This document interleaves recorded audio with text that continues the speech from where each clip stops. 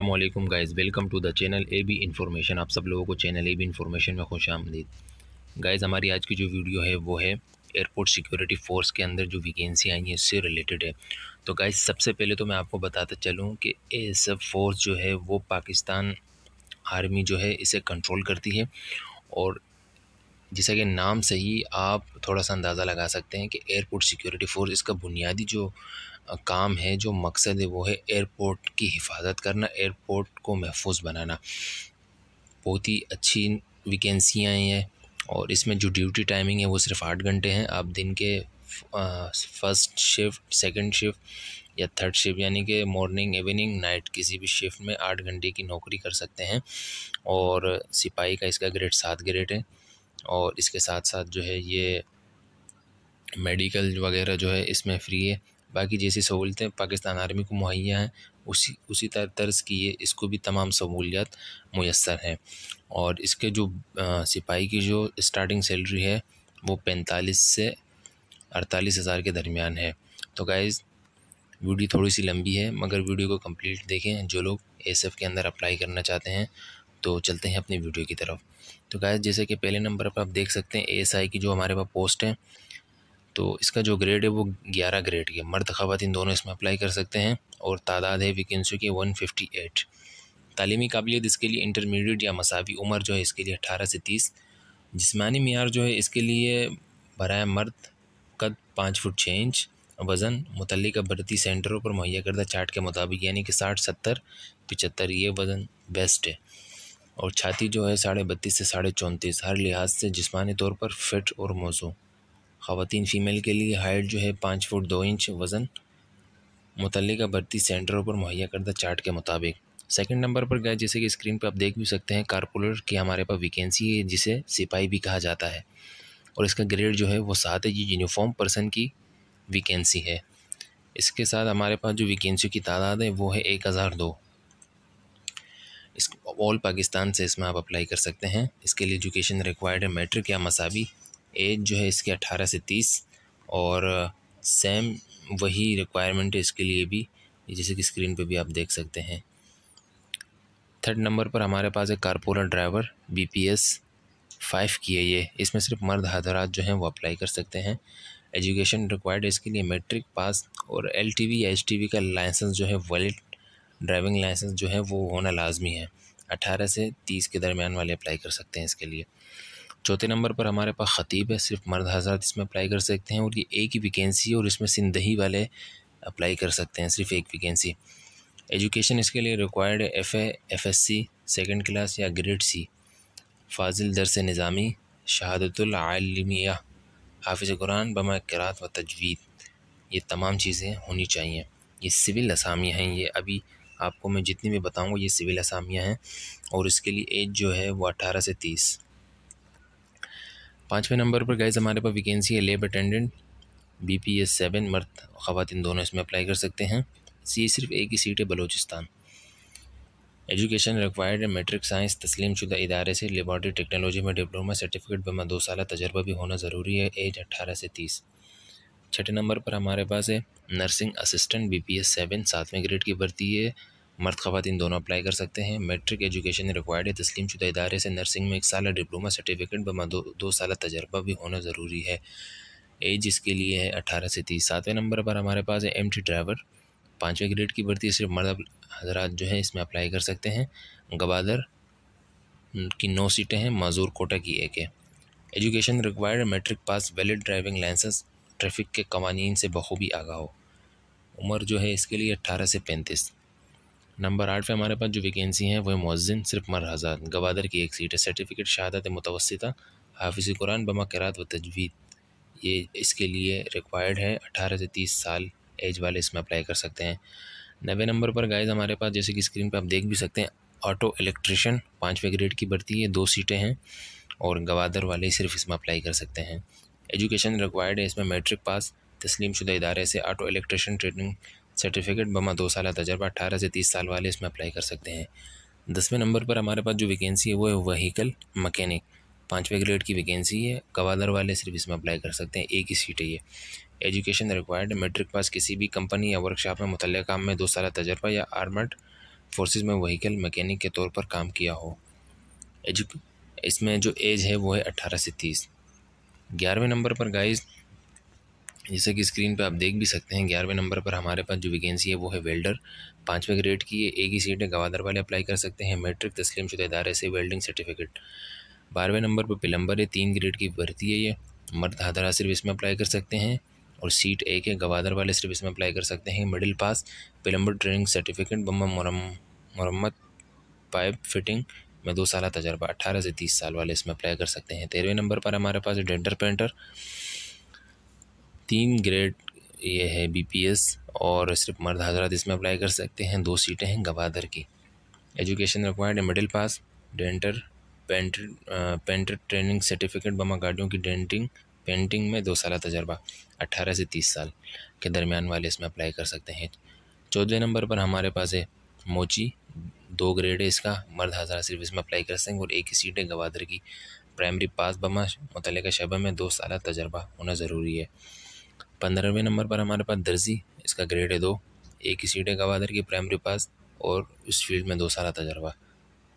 सोलहवें नंबर पर नायब कासिद, एक ग्रेड सिर्फ़ मर्जाजात गवादर की दो, माजूर कोटा एक प्राइमरी पास सत्तरवें नंबर पर हमारे पास वेटर एक ग्रेड ग्यारह सीटें, गवादर आठ इस्लामाबाद एक, माजूर कोटा दो।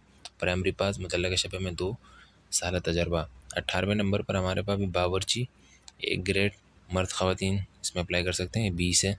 बीस सीटें प्राइमरी पास पाकिस्तानी खाना पकाना जानता हो। अट्ठारह से तीस साल वाले इसमें अप्लाई कर सकते हैं मर्द ख़वान दोनों इसमें अप्लाई कर सकते हैं। उन्नीसवें नंबर पर मेसन, एक ग्रेड है, इसका गवादर वाले सिर्फ़ इसमें अप्लाई कर सकते हैं। एजुकेशन रिक्वायर्ड है प्राइमरी पास और उस फ़ील्ड में दो साल तजर्बा। बीसवें नंबर पर माली, सिर्फ़ मर्द हज़ार इसमें अप्लाई कर सकते हैं। प्राइमरी पास और उस फ़ील्ड में दो साल तजर्बा। इक्कीसवें नंबर पर कारपेंटर सिर्फ़ मर्द हज़ार के लिए एक सीट है। प्राइमरी पास और उस फ़ील्ड में दो साल तजर्बा। बाईसवें नंबर पर आखिरी जो हमारे पास वैकेंसी है, वो है खाकरों बी पी एस वन तेरह सीटें हैं, गवादर की बारह हैं, माजूर कोटा की एक है प्राइमरी पास अट्ठारह से तीस साल के दरमियान वाले हजरात जो हैं, वो इसमें अप्लाई कर सकते हैं। तो गैज़ ये थी वैकेंसियाँ जो मैंने फ़र्दन फ़र्दन आपको बताई।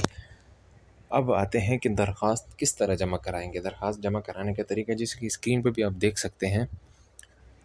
दरख्वास्त जमा कराने का तरीका, ख्वाहिशमंद एल उम्मीदवार एस एफ़ भर्ती की website, join S F dot gov dot P K guys इसका डिस्क्रिप्शन के अंदर भी मैं आपको लिंक दे दूँगा, जिस पर आपने ऑनलाइन रजिस्ट्रेशन करवानी है।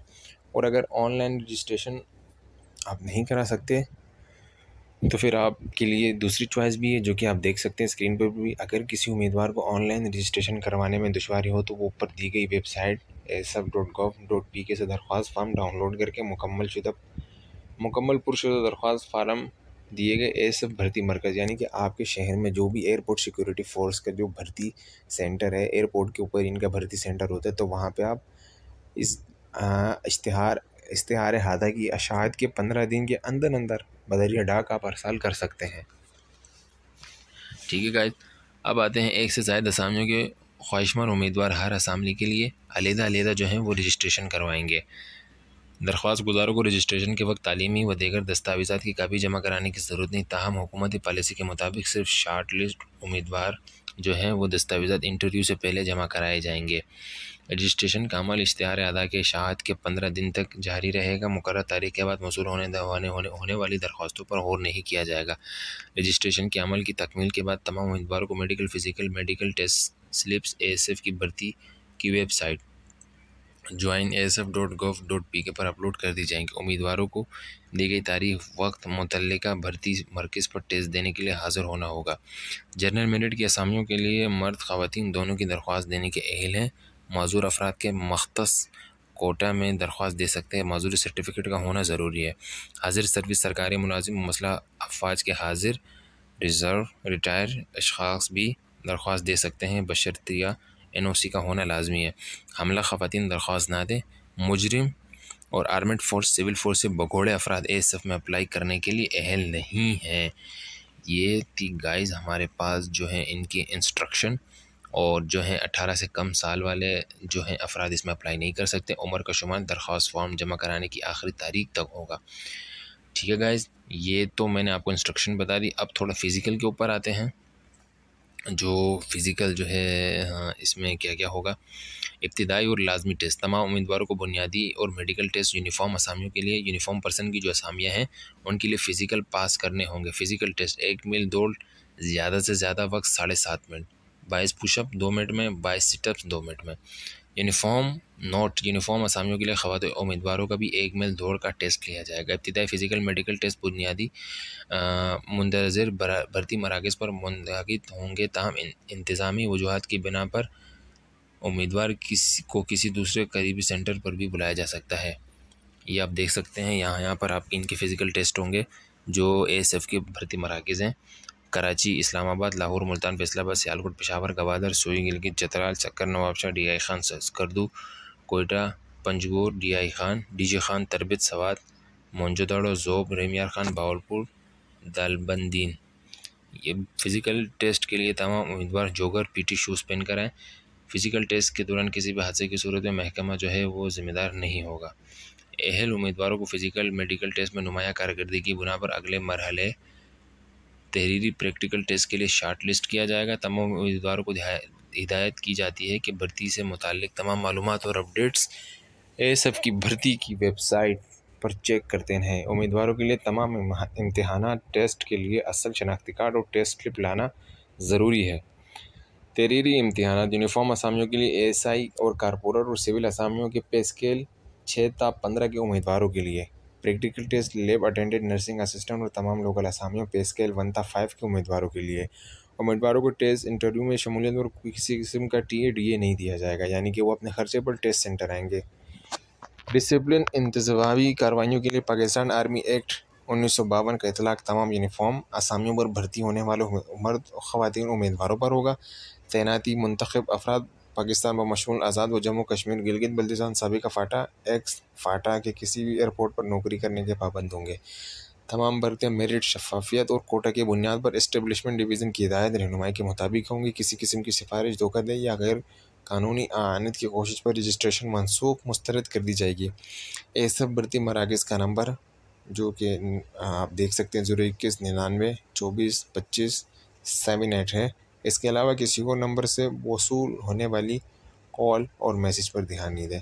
तो गाइज़ ये थी हमारी आज की वीडियो जिसको मैंने आपको फ़र्दन फ़र्दन जो है तमाम चीज़ को बिल्कुल आपको सामने क्लियर रख के आपको बताया। बाकी गाइज़ आपको अगर फ़िज़िकल से रिलेटेड या जॉब से और रिलेटेड रिलेटेड वीडियोस चाहिए तो हमारे चैनल पर मौजूद है। तो गाइज़ अगर आपने अभी तक हमारे चैनल को सब्सक्राइब नहीं किया तो चैनल को सब्सक्राइब कर दें क्योंकि जॉब से रिलेटेड वीडियोस हम अपने चैनल पर अपलोड करते रहते हैं। शुक्रिया।